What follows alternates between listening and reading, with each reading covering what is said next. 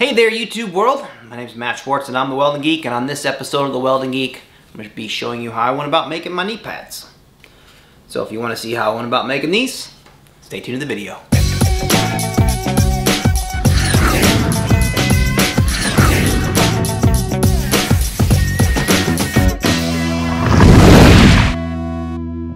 Alright friends, let's make some knees. I kind of explain to you what's going on here. So I've already got my templates glued onto my Sintra. We're doing a budget build Sintra knees. And I've got my pieces cut out because I already showed you guys how to cut stuff out in the first video of this series. Um, so I went ahead and got these pre-cut out. They're not dressed or finished or sanded. Uh, so I got one of these, one of these. These templates are available at my Patreon page under the uh, it's either the Post Empire templates or the Death Watch templates.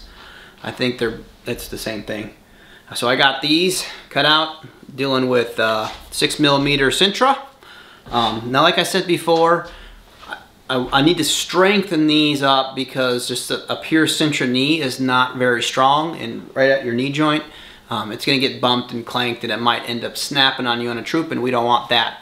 So what, how I'm gonna try to remedy this is I went ahead and I bought a fiberglass repair kit. So what I'm going to attempt to do is put a couple layers of fiberglass after I get these um, molded or bent in, in shape. I'm going to line the inside with a couple layers of fiberglass hoping that's going to be some strength added to this part keeping it from cracking and breaking apart. The fiberglass should tie this together. So I'm going to do that on the inside. So I'm gonna go ahead and start forming these, getting these kind of, yeah, in shape. I'm gonna use this three inch PVC pipe to kind of bend this around, kind of fit it to my knee. And I also have this gas cap, or it's for argon um, cap with this nice radius that I'm gonna try to see if I can't get this front lip edge to roll over a little bit. Um, so yeah, the first thing we're gonna do is get these knees in shape. So I'm gonna go ahead and get started doing that. Now, in order to shape our Sintra, I'm gonna use a heat gun and some gloves and something to bend around to make it nice and smooth and nice and straight. So that these are the things I'm gonna use to shape these. You can melt this with a heat gun, so be careful. You kind of wanna heat this evenly and then we'll just give it a nice tweak around here this way, let it cool, heat up this section, tweak it down the other way. Maybe try to get a slight roll in here and that will be about it. And then like I said, I might bring this over here, try to heat this up and just try to get it to form around that. Just so there's a nice little roll at the end so it's not looking like a straight thing. So um, yeah, I'm gonna start doing that. I was smart enough now that I, I uh, glued this on the actual plastic side uh, so I should be able just to peel, if I can get my fingernail underneath the plastic, yeah. Peel this off so I don't have to deal with paper this time around. So that'll be kind of nice. I just need to make sure, because these are lefts and rights, you see how this is bigger than that, that I bend one one way and the other the other.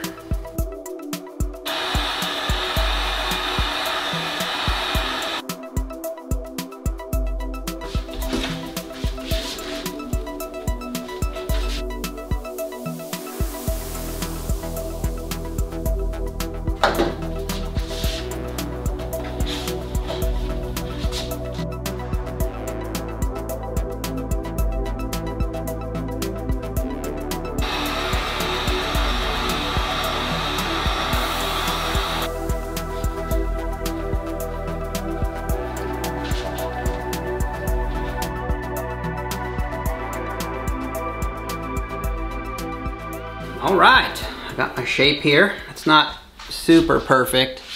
You can kind of see in the end where it's kind of wrinkled. I'm gonna go ahead and sand that out. But before we do any sanding, well actually, I'll have to sand the inside for this, for the, the fiberglass to stick to it. But we're gonna get the fiberglass on here and get that all, all laid in before we do any sanding. That way I can sand the fiberglass alongside of this. Um, you can see I got some dents in here from my gloves. I'm gonna leave those in for damage. Um, the reason why they're there is I keep on forgetting. I'm finding that if you just heat the, the inside of the project, it's good enough and the outside won't dent as much. It'll kind of, it'll dent a little bit, but not as bad as if you heat this outside and push on it because then it's just gonna dent. So yeah, I'm gonna get the next one formed up.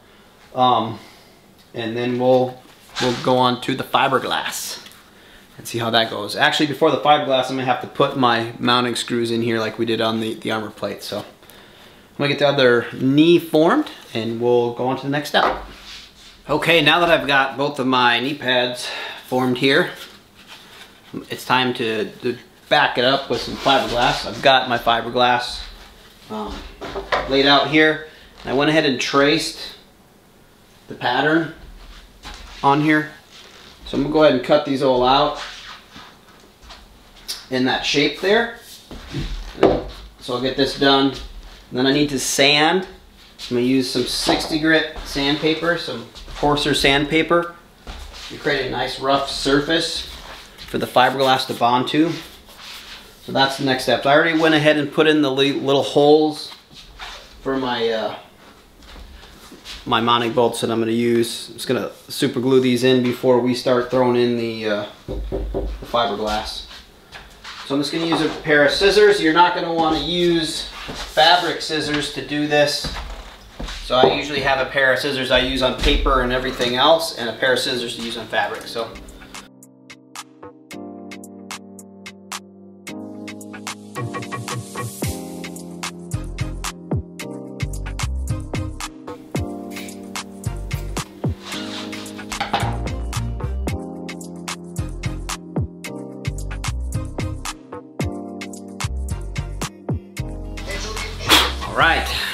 my studs glued in. I've got my knee pad sanded. And now I've got my stuff set up here. Got my fiberglass sitting here in a pile. I've got my resin here, hardener here, and the little mix cup here. Now, I don't think I've got enough work time in order to mix all this together, so I'm gonna probably get put half in there with half the hardener get that mixed up and try to get one done and then if I still have enough resin I'm gonna try to get the other one done and just go as quickly as possible. How I'm gonna do this is I'm gonna get my resin and hardener mixed. I'm gonna wet out my cardboard so I've got a nice wet spot here. And then I'm gonna wet out my knee pad. Wetting it out just means I'm gonna cover the whole thing in resin. Then take my fiberglass over here in my wet spot get the fiberglass soaked with resin and then I'm gonna apply it to my knee pad. When we're doing this, you want to tamp. You don't want to brush. You want to tamp it down to get all the air out. And we're going to try to go as clean as possible. I've got uh, gloves here to wear for the resin because this stuff gets over everything. I recommend putting on two pairs of gloves. And what that's going to do for you is if you need to go and touch something, um, you can strip off your nasty glove and still have a glove on your hand and then you just put on another one. It really does help instead of having to, oh, oh these are crappy gloves. So yeah, try to double up your gloves, that way you can strip one off and still have my hand covered so you're not getting resin all over the place. So hopefully this will make sense once I start doing it. Mix it up.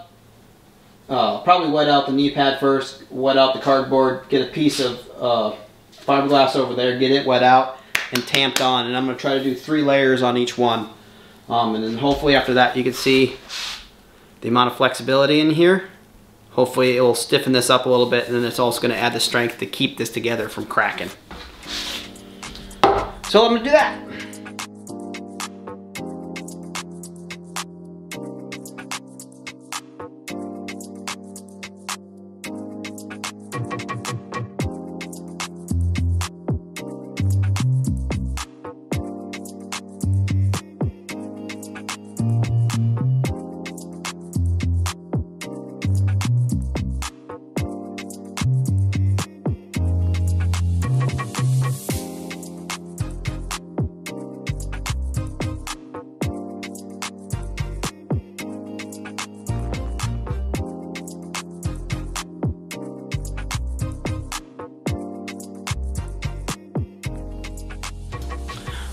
That was a royal pain in the butt. This is not like the stuff I'm used to working with. I'm used to working with West Systems. This was completely different, a lot more tacky and sticky and hard to work with. It stuck to everything. Um, but I got it in there. Got a lot of threads. I'm gonna just have to sand this stuff out. So we'll have to see. Hopefully this will work out for us and it will turn into a nice, knee, strong knee pad. Um, reason why I used this set here is because I found it at Menards sure they have it at Lowe's or wherever. You can probably order it off of Amazon. Uh, and I want doing fiberglass because I want this to be for average Joe that doesn't have tools to be able to make a strong knee pad without having to use metal because as soon as you jump into backing this with the metal strip or something like that you need special tools to cut it um, and so I thought fiberglass would be you just need a pair of scissors a paintbrush and time uh, this was a battle though. It's not fun. So hopefully this pays off for us. So I'm gonna let this set and we'll see where it goes from there. All right, the fiberglass is all set up. Um, that was a tricky thing um, to do. I'm, like I said, I'm not used to using this type of resin and fiberglass mix, um, but I feel like it came out okay. I used some, I use actually these scissors to clip off a lot of the threads around it, you know, just to get up in here and snip off some of this set up fiberglass. So I think it gave us some rigidity. You could hear that pop. There's a little bit of delamination kind of in here where I probably didn't tamp it down good enough or didn't get it cleaned up. But I don't think that's going to affect this too, too bad. So, and plus we do want a little bit of flexibility in there. It's just the fiberglass is there to hold the knee pad together in case we get, we'll probably get, possibly get a crack, especially around here. Um, and even if that cracks through, I'm hoping the fiberglass will keep this all together so it doesn't, it's not a big deal if it does crack. Because we're just trying to maintain the look of the knee pad. You can see I got my screws um, fiberglass in there. So I think that's gonna work out pretty well for us. The problem is now, this is an ugly looking knee pad. full of crap. So um, and it's not formed very well. And I already knew this going in. So the next step we're gonna do is sand this to make it look pretty. Now I'm not gonna do this on camera because I'm gonna do it in the garage because it's gonna make a complete and utter mess. So I'm gonna show you the tools that I'm gonna use. Just like on the armor, I'm gonna use my block of wood with some of the sticky back DA paper so I can get nice straight lines.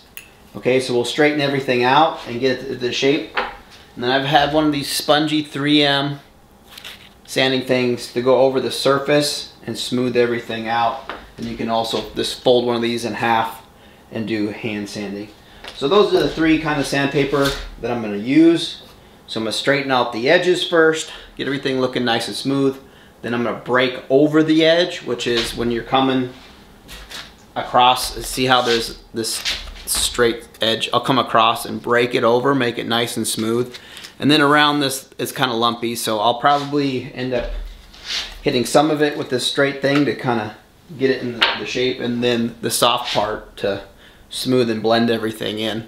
Um, sanding is something you need to sit down and do, um, but so that's what I'm gonna do. It's gonna take me a while to get these sanded out, but the next time we see this, it will be all smoothed out. So I'm gonna get rolling on that. Sanding is done, and this is where we are at. Got everything smoothed out here. Now it's gonna look rough inside here. This is just here to make this stiffer and hold it together.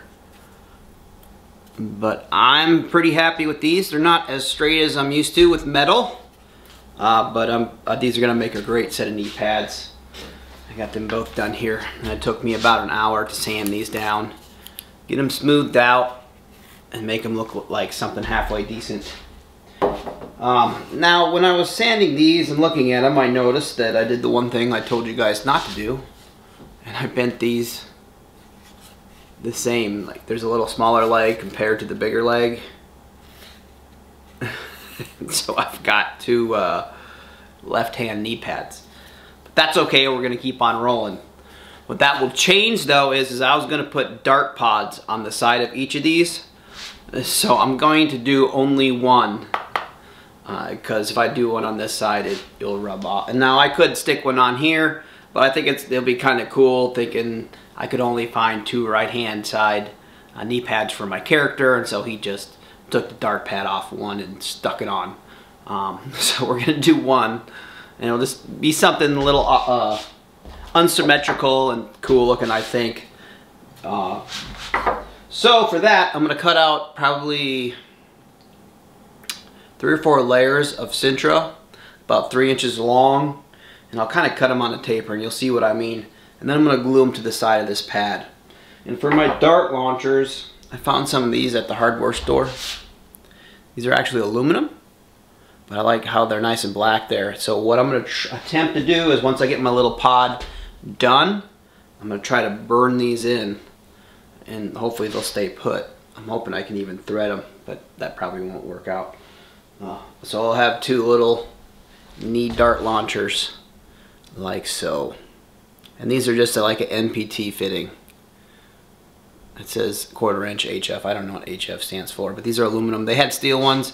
These are about three bucks a piece. Steel ones are about half that price, but these are pretty light. And so I just wanted to keep, since these are lightweight knee pads, just keep it light. So I'm gonna go ahead and cut my pieces out here. I'm going to use a razor blade and just snap off some pieces that are about an inch wide. So I'm gonna cut them and snap them, and then we'll cut them, like I said, three inches long, but I wanna cut a taper on either side. And then we'll get it glued together using PVC glue and get it sanded and shaped. Get our little dart thingies on there, and then we'll actually glue it to the side of the knee pad. And then it's time for paint. So, we'll go ahead and get started on that.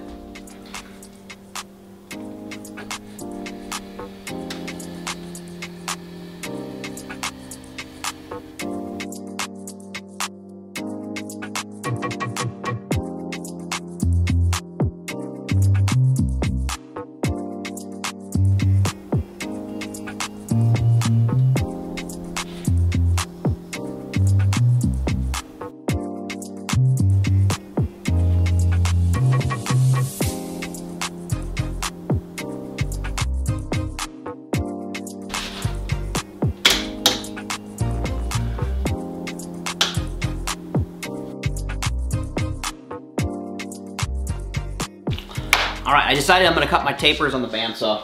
I know most of you probably don't have a bandsaw, so you could just cut them in with the razor blade. But since I do, I'm gonna go ahead, just kind of make a block of PVC like that. It's inch by inch, or it'll roughly be around there. I'll cut my 45s or whatever I decide. Get it all sanded smooth, and then we'll come and we'll put in our little things, get those burnt in, and then glue it to the knee pad. So hopefully this was gonna work out pretty cool. So, I'll be back when that dries. All right, I got my PVC block all done here. I got some lines on here. That's about where I'm gonna cut it. So I'm gonna try to straighten these all out, sand it, smooth it over, make it look nice. Then I'll come back in here and we're gonna try to get these in. Well, you probably can't really tell, but about like so. Anyway, we're gonna try to make a pod that goes on like so. So I'm gonna go ahead and get that done. All right, I got my little pod done. Sanded, smooth, cut. You see these little circles is where I'm gonna try to attempt to burn in my little knee dart things. So wish me luck. I don't know how this is gonna go. I may ruin this.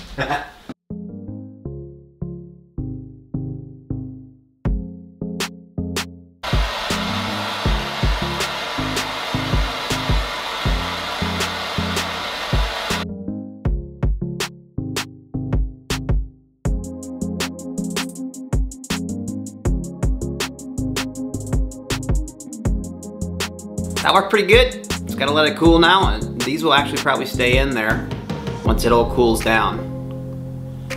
So I'm gonna let that cool down completely and then we'll get it glued onto the knee pad. I really like that. All right, cool down. Use PVC glue, get this glued on there, let it dry.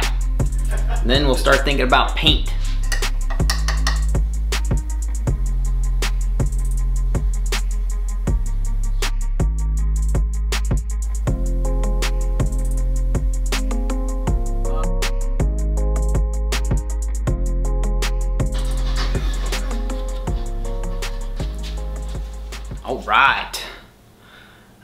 Am super happy with that. Looking cool so far. So the last thing I'm gonna do here, and I've already kind of shown you guys how to do this in the damage paint weather video, but I'm just gonna put some damage in these, not too much, and then I'm gonna paint them. I'm not going to show the painting process. If you wanna see how I paint this stuff, or kind of the process I go through, you can go check out the paint video, and I'll actually take that on this video too, so you can kind of go that way and check it out. But I'm just gonna do a couple things in here real quick. I'll get these painted, and then I'll be back and I'll show you the finished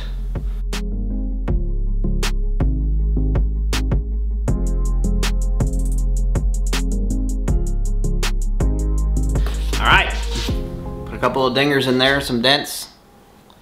Just something to give it a little something extra, a detail or two. All right, I'm gonna get these painted, and then I'll be back and finish up the video. All right, friends, paint is done. Let's get some up close looks. I know you've got these previewed before on some of the, the other video, or the video before this, uh, but you can really see the damage now the little dart pods, which came out awesome. The back looks messy, but nobody will ever see that. Got that, and got the other one here. I hope that video was informative for you guys. I hope you're able to make some of your own knees. I really do think the fiberglass is going to help out here. I don't know for sure um, because I've never made a knee pad like this, so I'll get it out and start testing it here eventually once we get this build done. Um, and then I will know for sure and I will let you know if they fail. but anyway, I, I feel like that's going to be a great way to make some knee pads. So I hope you can kind of follow along and make some on your own because this is one of those hard parts on the costume. Um, so hopefully that will make it a little easier for you guys. Ah, so yeah, what do we have coming up next? I really don't know. I'm not sure yet. I got a bunch of stuff I want to do. I've been working on, as you can see here, blaster for this build. That's what I'm, I'm in the middle of right now, trying to figure this all out. Um, so this will probably be the next video. You kind of tell where I'm going here. anyway, I'm trying to do a budget build blaster for our budget build Mando. Um, but I have uh, plenty left to do on this. I've got the templates uh, to make our vest. That'll probably be coming up here pretty quick. Um, yeah, and then we got the flight suit. We gotta get all the armor mounted.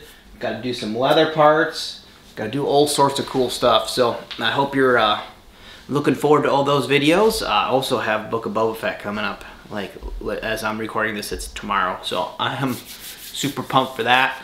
Another opportunity to possibly do some more uh, Boba Fett builds. So I'm planning on I've got templates drawn up or partially drawn up. I'm kind of waiting for the show to launch so I can actually get good templates drawn and I might start building some of those armor parts.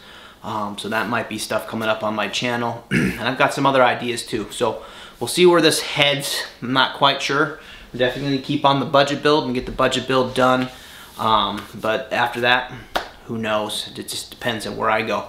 I do know my buddy Matt uh, at the uh, the Fett Armory is already almost completely done with his set of soft parts, uh, the flight suit and the vest for the Book of Boba Fett.